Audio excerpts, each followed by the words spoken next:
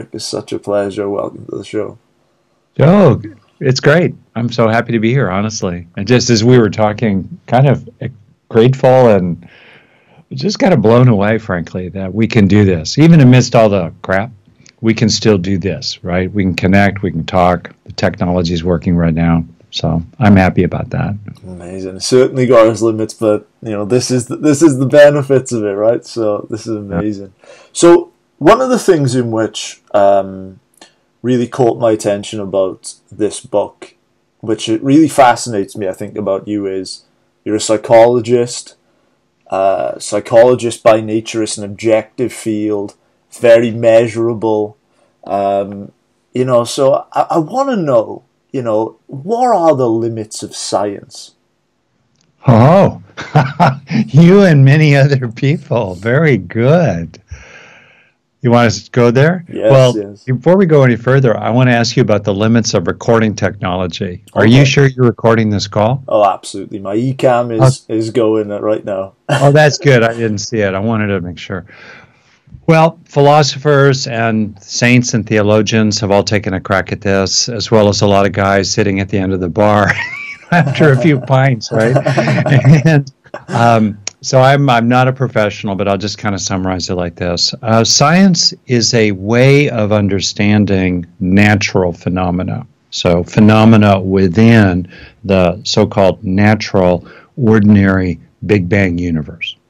Whether it's butterflies or black holes, science is a way of understanding it. So, as you know, that way involves independent observations that are not prejudiced by one person or another, that uh, confirm each other and gradually rule out alternative explanations for why things have happened. So, through science, we gradually have understood that the variation in living creatures we see all around us, uh, there are you and me. There are monkeys and orangutans. There are dogs and cats. There are lizards. There are fish. There are worms. All right. How did this variety of creatures evolve, as well as, of course, the plants? And we now understand that they evolved due to natural causes. Natural causes um, are a sufficient explanation through uh, selection and Darwin's theory and Wallace's theory as well of um, you know evolution. That's how it happened. Okay, good. So far, so semi good. On the other hand, there are many natural phenomena that science cannot measure. It, such as the simple fact that if you, Joe, love someone or hate someone, no one can scientifically prove that thing which is true. So there are many things that are true that are outside the domain of science, even within ordinary reality. And there's a key fallacy that many people stumble into, which is exposed by the genuinely scientific saying that absence of evidence is not evidence of absence. Mm. Just because we can't do an MRI study of you or somehow put you on a lie detector and somehow prove that you actually do or do not love somebody does not necessarily mean that you don't love somebody, for example. Then there is the ultimate question. This is where it gets really okay. Let's go there. Um, yeah. What may lie beyond ordinary reality? And then we're in the realm of what I distinguish between, as you know in the book, supernatural and transcendental matters, potentially such as supernatural matters being things like mind reading, predicting the future, ghosts, reincarnation, that whole territory. And then for me, the transcendental is a word I reserve for ultimately what other people might describe as God. You know, in a word, I, I choose transcendental because the word God um, has a lot of associations to it that many people balk with. But I'm just pointing to that which could be meaningfully categorically distinct from the ordinary Big Bang universe, such as being unconditioned, not subject to arising and passing away, as are all natural phenomena, timeless, therefore eternal, there's no passing of time there, and perhaps, perhaps infused with consciousness and a kind of benevolence, um, as many people who've been interested in what could lie beyond ordinary reality have said. So, my own, where I come down on this myself, uh, I have a personal uh, experience and view that there really are supernatural and transcendental matters. Um, the transcendental particularly matters to me, not so much the supernatural as a factor or field of practice. That said, inside ordinary reality, kids are crying, your back hurts, you wish someone loved you. In the real world of stress and suffering and happiness uh, and loss and gain, how can we practice? How can we use what we're learning uh, through science, informed by the most penetrating wisdom of the ages from around the world? How can we use that in practical ways? So that's why, end of the day, come down. And I try to remember what the Buddha advised himself to steer clear of what he called the thicket of views and disengage from abstract arguments and focus on the immediate matters of helping oneself and helping others today. So, what did he mean by the thicket of views? What does he mean by well, that? Yeah, apparently, as best we know from the surviving rec- written record of what happened, a lot of people would come to him and try to argue with him, philosophers, religionists, and so forth. And he would just sort of cut through it all and basically say, Are you happy? Are you, are you suffering? What is causing your suffering? what would cause less suffering and more happiness. Let's talk about that. Right. So he was really interested in the pragmatics of it all, the actual benefit of it all. And um, that's what he meant. Very nice, very nice. I want to talk about, um, you know, it seems to me like. Hey, how'd you like my answer? I loved your answer, Rick. Oh, okay, good. All right, all right. Just, just check it. Just check it. Let's see if we're gonna need a few more pints to keep on arguing about this. Not really. It's morning for me in California. I need my coffee, not my beer. I loved your answer, and um, yeah, just picking up. I, would love to know, um, you know, about this sort of hybrid approach between science and spirituality, because that is exactly where you end up, right? As a clinical psychologist and a man of obviously this faith, right? So I want to know is to to me it seems like it's probably the most effective approach. Um, so I just want to know just what does that sort of you know how do you ma- like how do you marry those two ideas together? Because I've got friends that have a PhD in physics and and I just don't think they could like this thing just wouldn't you know it just wouldn't cross through their minds. So I know how do you combine those those dialectical ideas? Yeah, I, I, really do get that it's a question. Um, for me, it seems really obvious, I guess, and so I want to kind of walk it through. Um, if we take a simple thing, people are stressed these days due to the pandemic. Of course, people have been stressed throughout history. People are stressed.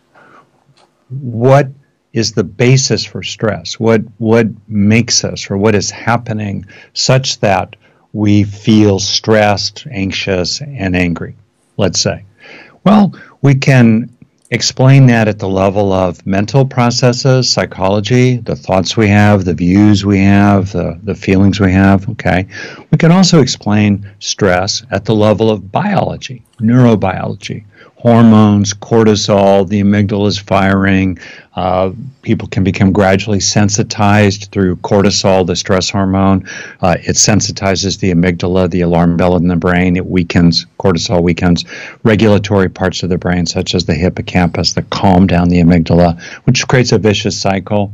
Feeling angry and lonely and hurt and frustrated today makes us a little more vulnerable to stress tomorrow which then increases our reactivity tomorrow, which makes us even a little more vulnerable the day after that in a vicious cycle. So that's a level of explanation at the physical neurobiological level, for example. And so to me, it's really quite straightforward to move back and forth between those two levels of explanation. They interact with each other. They um, uh, are intertwined. I think of them as two aspects that are categorically distinct. Thoughts are categorically different from things. Thoughts are not physical; they're intangible. They're they're comprised fundamentally of information, and in some ways that remain mysterious. Um, squirrels and cats and monkeys and humans, and I think lizards and maybe spiders are having experiences of some kind or another. Experiences, of course, are also ineffable, and yet they seem like natural phenomena. We look around, other humans are having experiences. We think monkeys, elephants, cats are having experiences, maybe goldfish and, um, you know, uh, butterflies as well. So, okay, we're in the natural realm. Uh, I don't have a. I'm. That's a completely secular framework. Very very straightforward. Inside the natural uh, frame, we can also draw upon um, insights from people who've done a lot of meditation. Sometimes in a religious context, perhaps Christian monks who've been meditating a lot, years and years and years, or let's say Buddhists who've been practicing mindfulness meditation or Zen or Tibetan practice. Right. And then these people, such as the Buddha, come back and they say, you know, I've got a few hypotheses for you. My hypothesis is that number one, there is suffering. Mm-hmm. Number two, my hypothesis is that an awful lot of that suffering is caused by what could be called craving, which needs to be understood as an underlying sense that something is wrong, something is missing, and I need to move into fighting with what's unpleasant, driving after and grasping after what's pleasant, and um, clinging to other people. Aha, then we have a hypothesis. There's no God involved in that hypothesis. Mm. There's no supernatural, there's no transcendental. It's a straight up hypothesis. It's the Buddhist drive theory of suffering, taking a phrase from Freud 2,500 years later. So, anyone who's a, I have friends and teachers who are deep Buddhist practitioners who are stone cold atheists, hardcore, very principled, very intelligent um, atheists, or you, they might grudgingly admit that they're agnostic. They don't know for sure, but as far as they're concerned, the transcendental and the supernatural most likely don't exist at all. And even if they do, they're irrelevant to practice. And they're full of pitfalls too. So they want to steer clear of that stuff because of the mistakes made, obviously, in religion over the centuries. So, bottom line, there's a lot we can draw from people who are quote unquote religious. It's arguable whether the Buddha was in fact religious, but in any case, um, we can. There's a lot we can draw from what those people have to say as hypotheses, and then we test them in the evidence of our own direct experience, knowing that just because there's no MRI study yet for our own direct experience. Our experience is evidence to us, at least, and sometimes to others who notice that as we do practices, we become less of an asshole over time. we're lucky. Um, you know, so that part's very straightforward to me. And then to go to the now then where I think you're so I've kind of been careful here. And I think it's important to be careful because then when we sort of establish the distinctions, then we can really kick out the jams and go for it. So then there's the ultimate question. Um, does it serve people within the natural frame as they heal from their trauma, let's say, or help themselves be less stressed and unhappy and, and more effective and contented day to day? Or even if they are interested in self actualization, peak experiences, the upper reaches of human potential, does it serve that process understood as something within the natural frame that involves natural phenomena uh, at the two levels of mind and matter, let's say? Does it help people to um, uh, bring into their personal practice or how they deal with the, the despair of losing a loved one, say, to bring in something that is supernatural or transcendental. For many people, it is. Uh, the American Psychological Association, for example, some years ago recognized the fact that secular therapists and and in within a secular psychotherapy, there could be respect for the ways in which a person's faith tradition is a comfort to them, a refuge for them, a moral guidepost to them, can help them in their recovery from addiction, let's say, uh, can give them reasons uh, to be more patient with their children and not hit them, for example. So that's a key distinction. Whether you know it's of use for people to to bring in something that is supernatural or transcendental. Obviously, acknowledging pitfalls. There are ways in which I think bringing that material in can be problematic even within entirely a natural frame. And then the ultimate question, of course, is whether there are influences with that are, that land within ordinary reality here on planet Earth. Are there factors? Are there influences? Are there causes and conditions that are supernatural or transcendental that are beneficial here on planet Earth. that's a deep, deep question. I think efforts to prove the existence of God, let's say, from natural phenomena such as the so-called God gene or what lights up in the brain, I think that's foolish and misguided because obviously any so-called evidence of what lies beyond the natural frame could be fabricated within the natural frame. You know, we don't know. We don't know. But I will say for myself that at the end of the day, I am interested myself in the ultimate matters. And uh, in a sense, I would say probably 98% of what I do is just day to day here in planet Earth, you know, and, and I'm, I'm, I'm working uh, neurons to get them firing together so they wire together as well. And still, uh, a lot, a major purpose for me personally, which I don't try to advocate for others. It's just for me. A major purpose for me in doing that is to become more available to the divine, to become more available to the transcendental, minimally as the Buddha taught, uh, that which is unconditioned and timeless, not subject to passing away, and potentially a consciousness and a love beyond my own. Wow. Wow. Certainly speaking to you, I certainly get a feeling that you do think that there is more than just the Big Bang. yeah, that's my opinion. Mm, yeah. It, uh, but I, I, think arguing about it, no, course, yeah, yeah. is just like, oh, are you kidding me? what a dead end. What a dead end. I love it. It's certainly food for thought. Um, yeah. One of the things uh, that I wanted to speak to you about was I, I spoke to um, Tal Ben Shahar last week. Do you know Tal? I don't know him personally. I know of him and I know of his work. Yeah. One of the things in which he said to me, and he just mentioned during complete passing, almost as if, you know, it was like a, a tangible rant that he went on, and he goes, I just can't understand why in the West we make such a differentiation between the mind and the body. He goes, it really gripes me. And I, and I, I didn't really think about it too much. And I was lying in bed like a couple of nights later and I was like, I get it. Do you agree with what he said? Well, I have to know what he. I would wonder what he means by mm. it. I think. Um, I think it's self-evident that uh, that an that an idea, a piece of information, like for example, um, an image of your uh, school you went to when you were a, a kid, right, or um, a thought, is intangible. It is made of information. It is immaterial. Um, it exists, but it is intangible. It is categorically distinct. Information is categorically distinct from the material substrate that represents it. So, for example, I'm show, holding up a blank piece of paper here. That's the material substrate. I could write anything on that blank sheet of paper. I could write your name, or I could write the score to Beethoven's Ninth Symphony on this sheet of paper.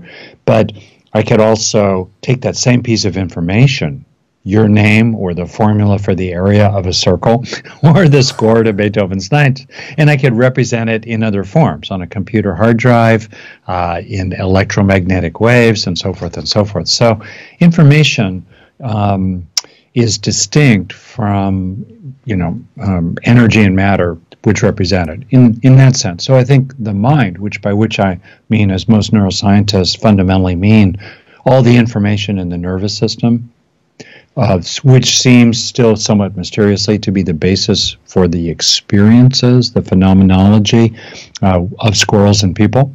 All right, that's different than the meat that that is the necessary basis for it at one level of explanation. At another level of explanation, if I understand what Tal is saying there, um, mind and matter co-arise. They are two categorically distinct aspects of a single unified process. And as someone who avoided philosophy classes in college because I wanted to protect my GPA, uh, I've learned late in life through Wikipedia, my friend, that uh, there's a term for this, apparently from Leibniz. I don't know. So, philosophers, please help, help us out here. A dual aspect monism, the idea that mind and matter are dual. They are they're different from each other. Intangible is different from tangible, and it's a monism. It's a single unified process, certainly as far as um, creatures with the nervous system are concerned. So interesting, so interesting. So let's dive into your latest book, Yeah. This is the following on from Buddha's Brain. So, Yeah. Neurodharma. Tell me about the title. Uh, it's cool. Well, you're really getting at Tal's comment. So, uh, essentially, we can know ourselves from the outside in scientifically, right? Serotonin, dopamine, you know, uh, the amygdala, what's going on there, genes, the genetics. We can know ourselves increasingly well in that scientific way. We can also know ourselves experientially from the inside out, psychologically, uh, meditatively. And for me, neurodharma is the word I made up for where those two meet. It's a challenging word. It's a deliberately audacious word. Uh, it to those who um, it's it's not religious inherently. I mean, I use the word dharma as a kind of audacious nod to the world's uh, wisdom traditions, the perennial wisdom, which is not found only in the East, obviously, which is where the word dharma comes from.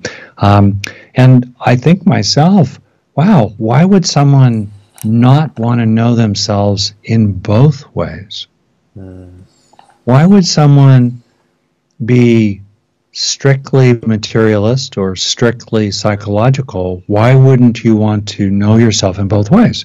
It seems so useful. Let, um, let's suppose you have a headache. and I could say to you, well, well, Joe, you know, if you uh, focus on the image in your mind of a beautiful mountain meadow and you just start thinking about the sound of the wind in the trees, all right, that might help your headache.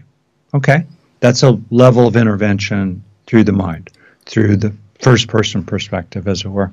On the other end, I could say, wow, I notice that your blood pressure is high and that's you probably have hypertension that's increasing the intensity of blood flow in the meninges that wrap your brain. Um, i think uh, you uh, might be helped by taking this little pill and lowering your blood pressure so that you don't get headaches so often. That would be useful. And um, someone could even so you see right there the usefulness. Why would someone want to push away what's useful for a person. Let's assume there are no bad side effects in the pill for your high blood pressure. Why would someone want to push that away? On the other hand, why would a standard medical doctor want to push away the fact that if it does, let's suppose, that certain kinds of visualizations or meditative practices help people with their migraines who chronically have headaches. Why not bring them both together? It just seems wonderful. And if you're interested, as I am, in both uh, every you know healing trauma and being effective and reasonably happy in everyday life. Additionally, if you are like me, interested in what's the next step, well, that's the next step to take for oneself in the up toward the ultimate possibilities of inner peace and happiness and wisdom and an unshakable love. What's the next step? If you're interested in that process, as many people have been, and I definitely am interested in it, and I'm watching your eyes right here, you seem pretty interested in it. Wow! Why wouldn't we want to know? What's, or at least start having some plausible beginnings of guesses, even without complete knowledge. Neuroscience is a baby science. Okay, there's a lot we don't know yet, but still, there are things we are starting to learn about what is happening in the brain when people are really dropped into the present with a strong sense of feeling whole uh, and, a, and a great feeling of calm and strength while feeling kind of open to and supported by everything. Wow, wouldn't you want to know? and then use that. If you if if increasingly it's clear there's certain neural processes that are the underlying bodily basis for those really cool psychological states, which then over time can become traits. We grow them over time, right? Then you would think to yourself, okay, if those circuits, woo, are involved in that, why not get more skillful at lighting them up? why not get more skillful at activating those circuits, or I'm using the term circuit loosely here, activating those physical neural processes that are the basis for these really beautiful, refined, useful states of consciousness, you know, and then by stimulating those circuits, we strengthen them. And then more and more, we hardwire into ourselves the physical basis for a very stable serenity and happiness. Yeah, I love that idea of the neurons that fire together, wire together, right? Yeah. And you mentioned happiness, but then this just completely popped into my mind. But I, I feel like this is a theme in the book. So I'd love mm. to ask you it's a huge question. How happy can we possibly be? That's really great, isn't it? I think there are two ways to answer it. Um, one is if you imagine the scale from minus 10 to plus 10 as a simple way to talk about mood or happiness.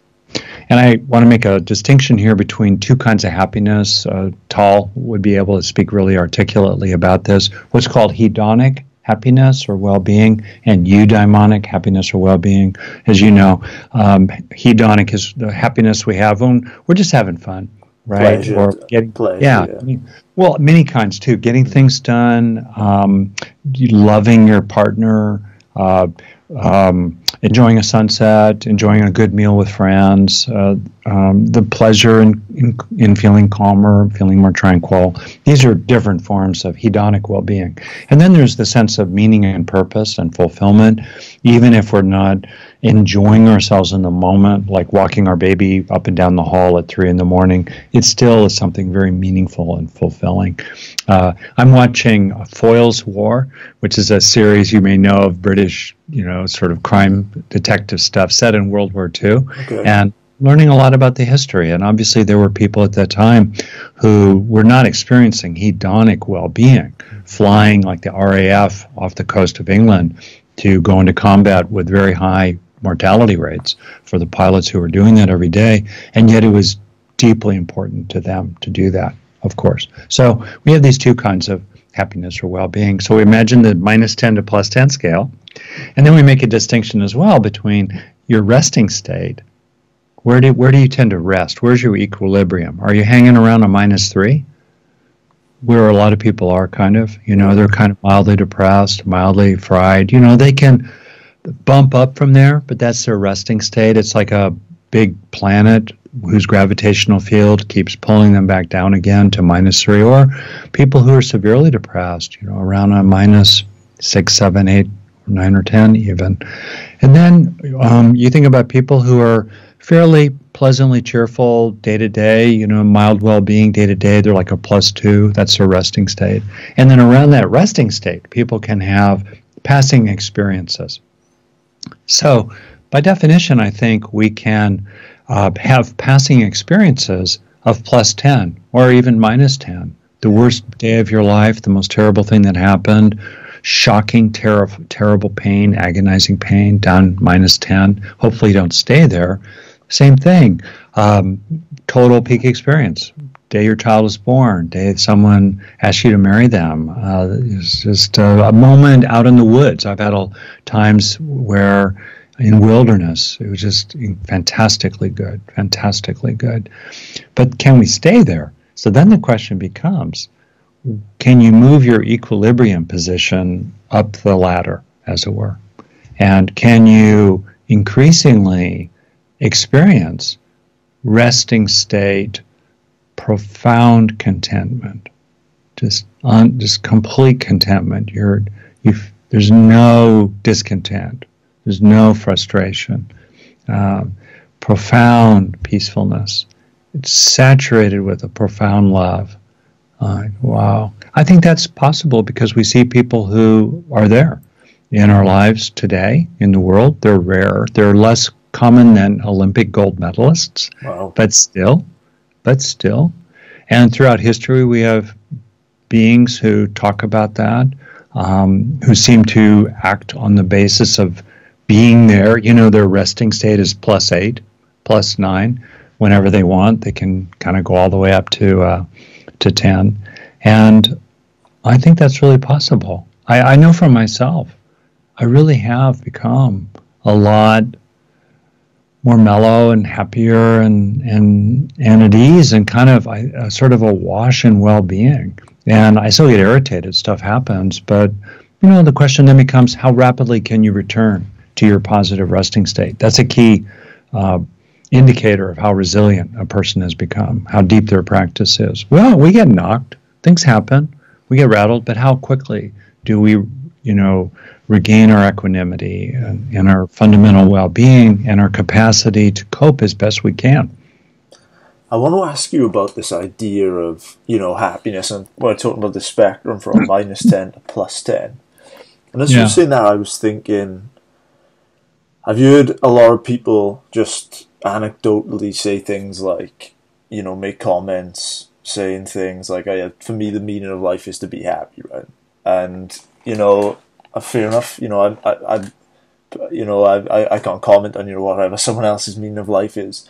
For me, when I was a lot younger, I felt, um, you know, going through my life, it wasn't that, you know, I was ever unhappy. It was more of a state of numbness. That's what I would say. It was, you know, I was, you know, I just felt almost stoic you know, like yeah. that, that, that, that would be how I, how I felt. So when I was coming out of that, you know, towards my late teens, mm-hmm. I really wanted to feel the depths of emotions without necessarily yeah. getting lost in them, without, you know, yeah. bordering into rumination. So I'd love to know, just in terms of the, uh, just in terms of the happiness section, is is there a goal to seek happiness? Mm. What do you think about that? Well, can I ask you a couple of questions? Oh, please, sort of? please, please. All right, great. So, uh, think of a friend. Okay. Uh, you could also do this with a child, perhaps your child. Uh, would you wish that your friend be happy? Yes. Okay, what do you mean by that? Uh, I would say that I would you know, like them to avoid suffering, avoid trauma, um, you know, have a, an overall good sense of wellness. Right. So the avoiding suffering, the avoiding trauma is is spending as little time as possible below zero. Yes, yes. In that way, yeah. And you would also wish for them that it wasn't just not miserable, mm-hmm. not sad, more than not anxious. You would wish for them that they would have qualities of positive emotion, uh, both hedonic and eudaimonic forms of well being. You would normally wish that for another person. Yeah, we wish that for people because for two reasons. One, uh, simply it feels good, it feels better to be authentically grateful. Uh, rather than uh, to feel frustrated and disappointed. Now, a key point, of course, as you well know, is to not fight frustration and disappointment when we feel it. We feel what we feel. There's nothing in you, what you and I are talking about that's about positive thinking or fake it till you make it. Yeah. Okay. So, uh, so first, we'd have two basic reasons for wishing that our friend was happy, or happier even, and we would wish for our friend yeah, sure. Why not be even a little happier? Yeah. Uh, so one reason is because it feels good. The other is it is good. Happiness is good for the body.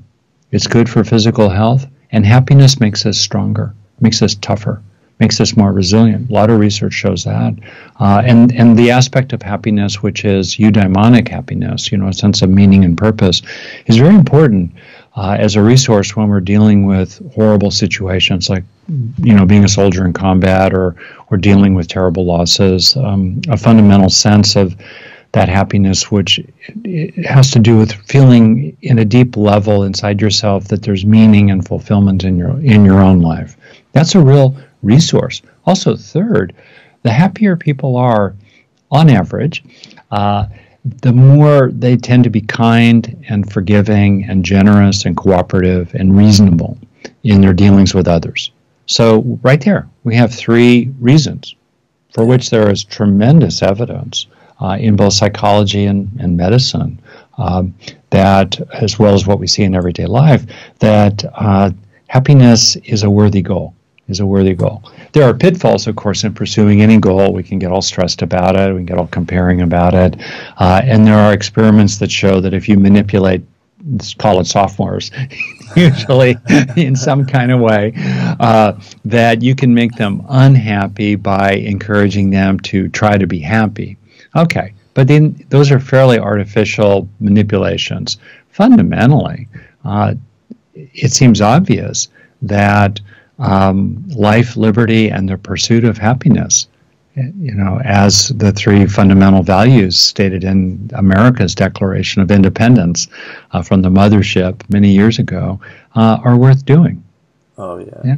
I Are worth that- pursuing. Absolutely. I think that um, maybe this was just a semantical issue because I read this great Chinese uh, proverb the other day. Have you ever noticed the story of the farmer's horse and the maybe so, Yeah, maybe yeah. not? And, Yeah. and I love that. and You know, I think that the, the general message of, I suppose, we don't know the value of a moment. So I think that where I was coming from was perhaps um, that you know sometimes not getting what you want is a so is a is a can be a wonderful stroke of luck. But I guess that your point is that that's a is that it's a different language type thing. That this that it's a semantical issue, not um, you know the key component, which I get. Um, Oh yeah. Well, part of what's happening here too is you're profoundly thoughtful, and so we're really getting at you know in a mutual way, exploring some really deep questions, and um, so it, it really gets pragmatic, right? Okay, let's suppose that for me, I think there are three reasons to not kill yourself today. okay. I'll put it that way. why keep on living, right? Why why keep going? Why do it? And I think there are three whys, in my opinion. You know, three sort of buckets of whys to keep on going. Uh, one is quality of life, broadly defined. You know, to to eat another cupcake, to enjoy another sunset, to hug another friend, to make love with another partner, uh, when, or to make love again with your partner, let's say, to see your children flourish and succeed. All the totality of under the heading we could say of quality of life, happiness, well-being, fulfillment, purpose, all of that, Ex- expressing your abilities, all of that. Okay. A second purpose to keep on going, independent of that first purpose, is service. For example, those RAF pilots who may have been completely terrified and completely unhappy and sad and worried and in physical pain, they still got in their planes and took off to protect their, their country. Uh, so we, we do things for service purposes as well, I think, or could, uh, independent of quality of life purposes. And then the third purpose is a very interesting one. I think it's distinct from the other two, which is broadly learning, under the heading of which I include awakening, enlightenment, and for those who are interested in it, a, a joining with. It's interesting, the root of the word for yoga is joining or union, to form a union with the transcendental, the ultimate, the divine. And so those are kind of like three sort of, you know, buckets of whys. And then we might ask ourselves, okay, what are the what are the factors that serve each one of those?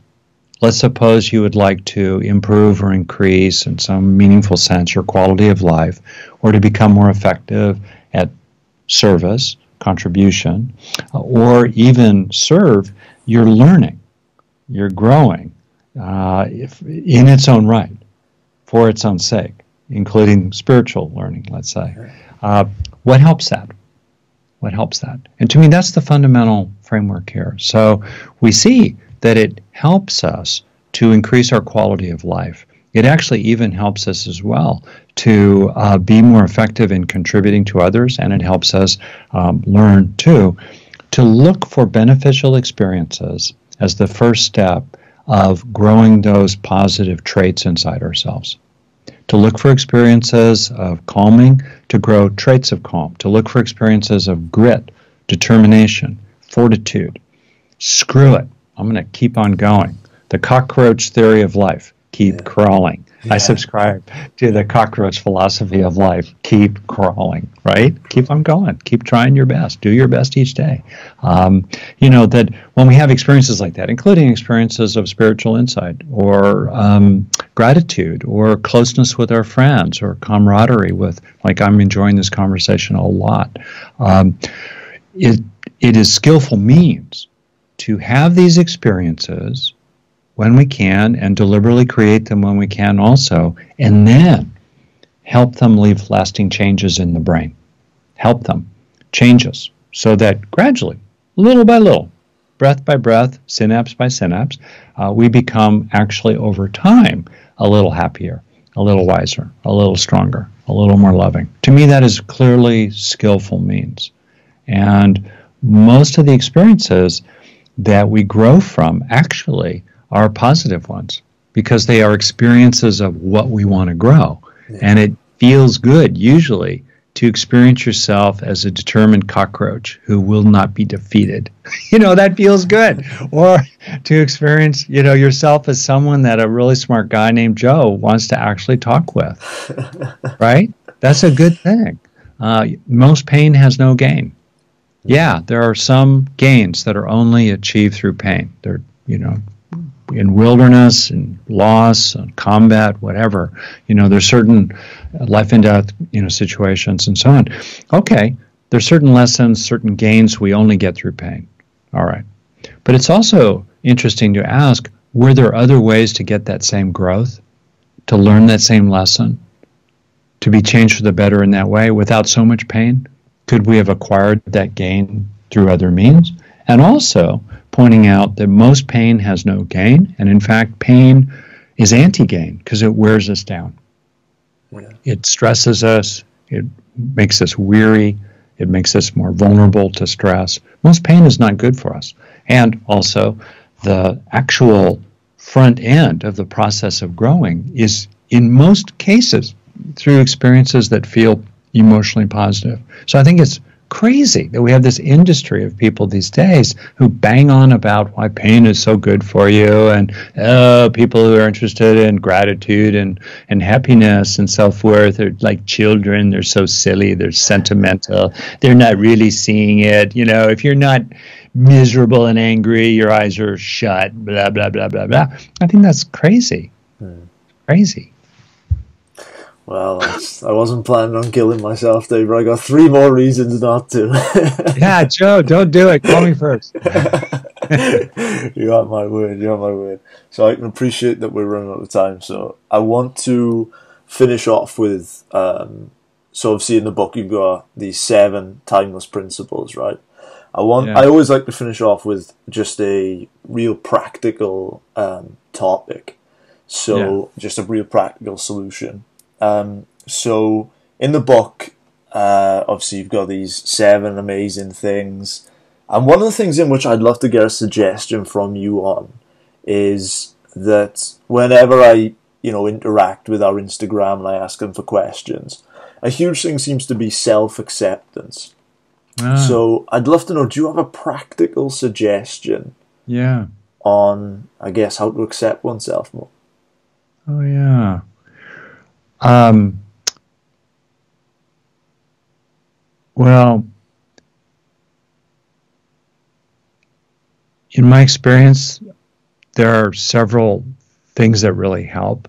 And I'll just name them. Maybe we could do this almost experientially. Sure. So people listening could look at this, or you and I could do it right now. I had a lot of issues with feeling inadequate, worthless, damaged, broken, unlovable.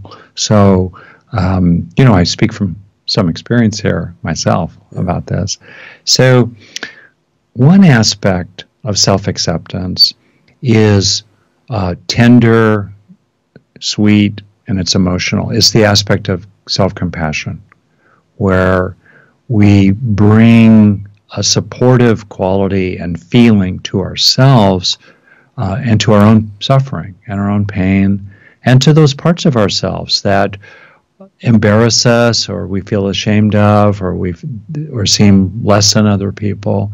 So if we uh, let's suppose a person feels rejected or left out or unwanted a key aspect of self-acceptance is to work the muscle again and again and again of compassion for oneself much as one would bring compassion to a friend who had a similar experience or situation. And that's a useful method right there. If it's hard to bring compassion to yourself, think about what you would offer to a friend who was feeling the same way you do, and then try to bring it to yourself again and again. Uh, it, and that, that so that's one aspect to grow self acceptance. Another aspect of it is is more rational, where you recognize that um, other people are messed up too. You're not the only person, and that um, it's not fair to be so hard on yourself for being certain ways when you're not hard on other people.